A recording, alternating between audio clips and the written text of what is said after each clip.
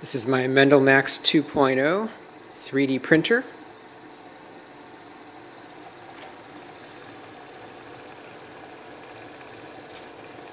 It uses a Wade's geared extruder. It has a J end hot end extruder with a 0.4 millimeter orifice. We're printing with PLA 1.75 millimeter diameter filament. This is four axes of stepper control.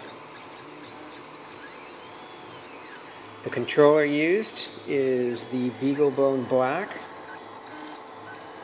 with 8 gigabyte SD card, flash connection for additional memory storage, keyboard, mouse.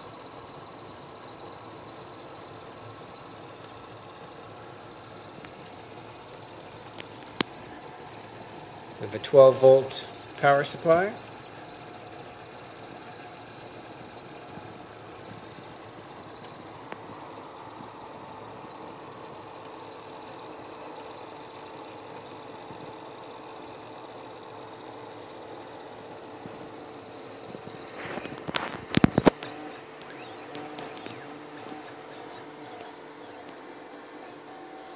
We're running at 205 degrees Celsius extrusion, bed temperature of 60 C.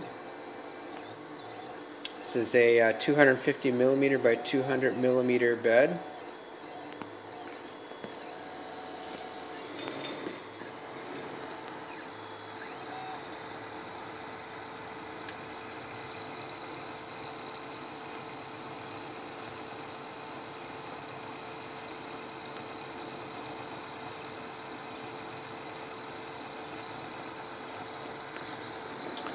Cardboard is because the fan on the power supply uh, cools the bed too much, so we're just blocking the airflow from hitting the bed.